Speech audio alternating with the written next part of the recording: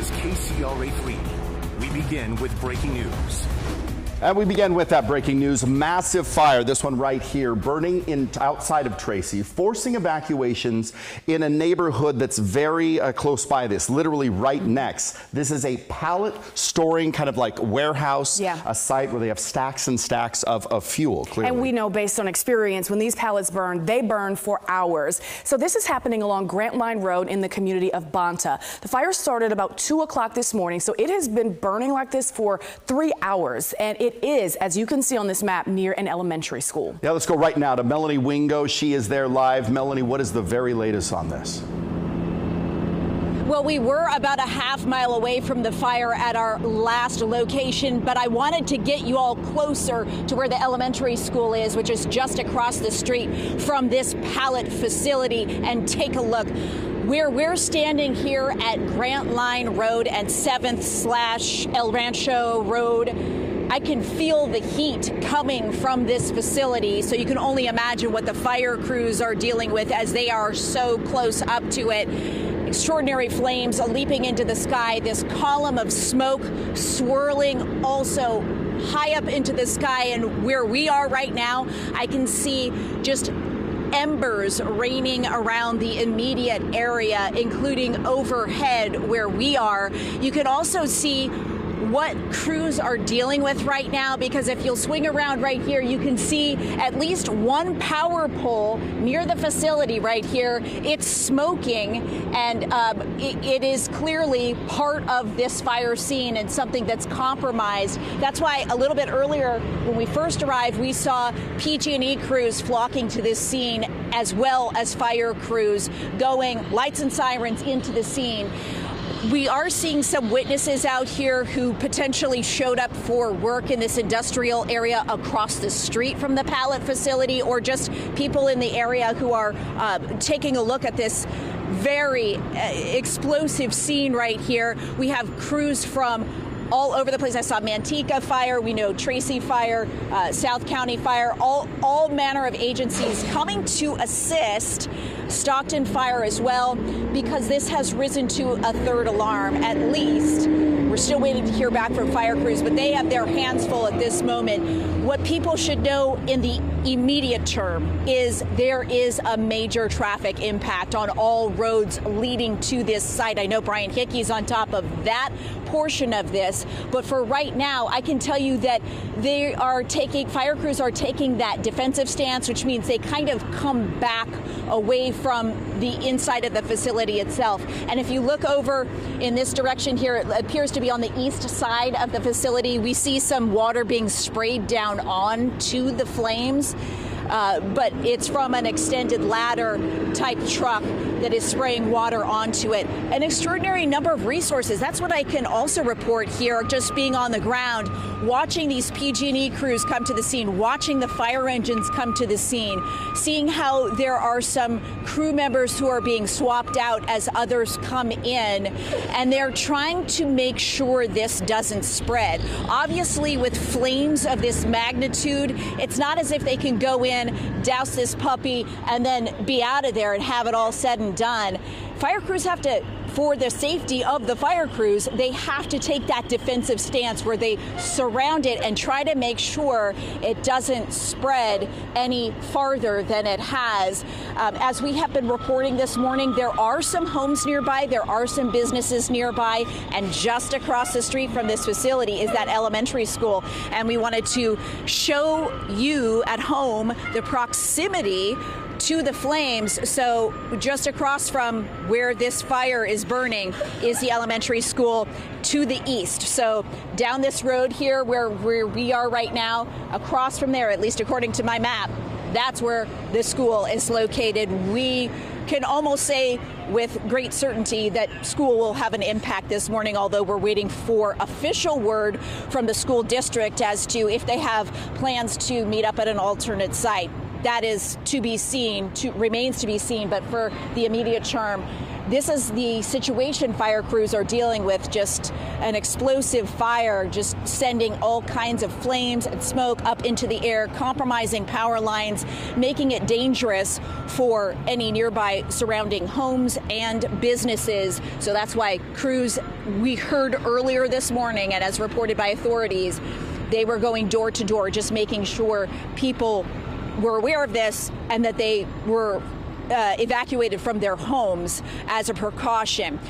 Fire crews do appear to have a handle on keeping people away from this site, other than people who might have already be, been within the immediate vicinity, because as you can see across the way, uh, there are some people standing by, although it appears there may be some emergency personnel, some paramedics on scene just to be safe, although we have not heard of any injuries so far. So, Brandi and Teo, that is what is happening out here. Again, we're at Grant Line Road and El Rancho Road, which also kind of merges in with 7th. just an extraordinary scene out here in the community of Banta. Melanie, I don't know if you've had a chance to look at the, kind of the bird's eye view of this, this area, this neighborhood here, but it is quite rural. And we were counting maybe right behind it, just to the north of this, maybe 13 to 15 homes could be directly affected. Yeah, and, and, I haven't done the numbers count just yet, but to the point about it being a rural area, when we were over at South Bird Road and West Grantline Road, which was um, in our earlier reports about a half mile away from the scene proper where we are, we wanted to get, again, closer to the elementary school to give you a sense of exactly how much of an impact this would have, uh, being that in proximity it is so close. And we passed um, at least an orchard or two. So we know there are some orchards nearby. So it is a rural area where there would be some, you know, agricultural space, um, and then in the immediate area next to the the pallet facility, it appears to be industrial. And then, as you mentioned, we are seeing some homes nearby, and certainly at our last live report location, I was standing right next to a home.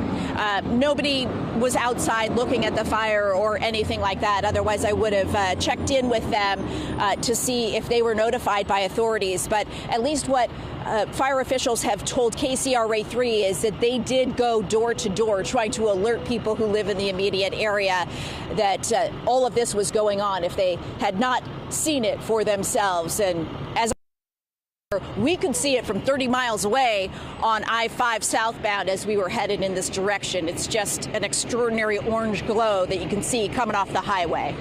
Yeah, it is a massive fire indeed. And Melanie, we're taking a look at those live pictures and we can of course see uh, those firefighters putting water both on the fire itself and also on the trees surrounding that area, of course making sure that it doesn't spread. We're going to check back in with you in just a few minutes, but we want to also show you some photos from a viewer in the area. As Melanie said, the, this fire can be seen from miles and miles away. The viewer managed to capture these images while driving along the 205. And you can see how big the flames were from far away. This is around the time the fire broke out right around 2 a.m. Tracy police confirmed they are assisting Highway Patrol with those evacuations, as Melanie mentioned. And as a result of these flames, since you can see it so far away, the flames are massive, it's causing some rubbernecking, I would assume, on nearby interstates, Brian.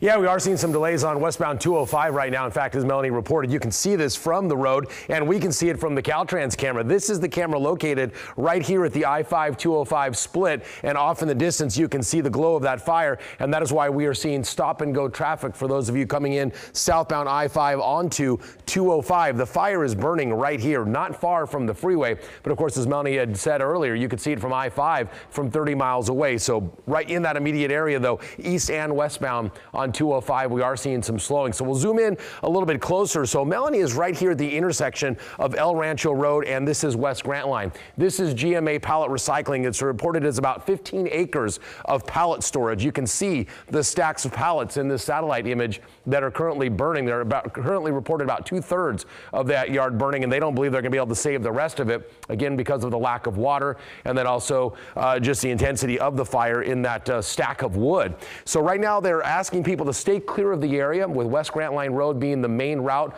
for them to shuttle water in. There's no hydrants in the area, so there, any water you see them using, they're having to shuttle in with water tenders. So they're right now on a couple of the streets, there have been reports of some of the tenders having trouble getting around looky-loos and uh, stop traffic in that area. So for now, Avoid West Grant Line Road, El Rancho Road, South Bird Road. Those are the areas that are being impacted. And then, of course, we've talked about the elementary school. Here's the pallet recycling facility. Here's the elementary school right across the street. And then the homes that Teo and Melanie have been referring to are right here. And uh, they have been working with the sheriff's office right now to evacuate those homes that are along El Rancho Road, according to the latest reports on the CHP side. So uh, that is the situation right in that immediate area there off of Grant Line Road. This is just south of 205 and just north of West 11. So right now, 205 is a 19-minute ride between I-5 and 580. Heading over the Altamont Pass, we're looking at a 28-minute ride if you're heading down into Dublin, and still no delays on 99. And as far as Sacramento is concerned, we have no other issues to report here. Everything is running at the limit. But of course, uh, weather a big issue when it comes to fires like this as well, guys. Certainly is. Uh, wind can wreak havoc on firefighting efforts. Good news is that the wind is, is pretty light, right, Tam? It is light, but as some of that smoke kind of drives up into the upper atmosphere, some of it kind of waffles back down eventually. And if you are waking up and smelling any sort of smoke, it is a good idea that you close the windows. And I know that on morning like this, it's actually pretty mild outside. We're in the low 50s around the area. You can see clearly from the wind that the direction here is out of the east to northeast in this area specifically, and the observations are not pulling in, but I can tell you the wind speeds are under five miles per hour. Uh, from the San Joaquin Valley Air District, I looked at this graphic going back to the four o'clock time frame, and you can see that the particulate matter does go above that yellow line, yellow line indicating that it's in the level two status. So if you are very sensitive to smoke, it is not a good idea to be outside uh, entertaining any sort of vigorous exercise or things like that. And again, if you can smell the smoke, close the windows and uh, also don't spend long periods outside in the smoke. Three things to know about the day ahead. A live look there in Fairfield. Our skies are clear. It's a pleasant morning. A warmer day is expected, and the winds are expected to stay light as well. I'll have a complete look at your full forecast coming up in just a bit. Back to you. All right. Thank you so much. All right, so stay with us as we continue to follow this breaking news all morning here at KCRA 3. For around the clock updates, just download the free KCRA 3 app and make sure you turn on those push alerts so you can get updates no matter where you are and even when we're not live on air.